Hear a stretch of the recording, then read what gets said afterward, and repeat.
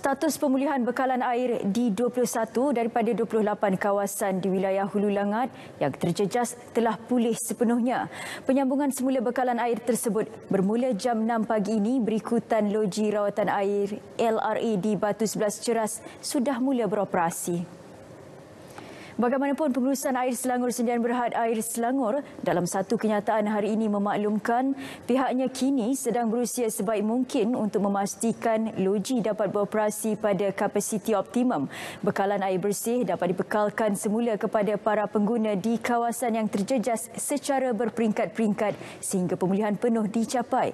Dalam pada itu, Air Selangor bagaimanapun memberitahu bantuan alternatif melalui lori-lori tangki masih lagi digerakkan ke kawasan-kawasan kawasan terjejas dengan memberi keutamaan kepada premis-premis kritikal sepanjang tempoh gangguan bekalan air tidak berjadual. Sebelum ini dilaporkan terdapat beberapa LRA dihenti tugas kerana paras air yang meningkat dan penutupan kecemasan bekalan elektrik ahad lepas.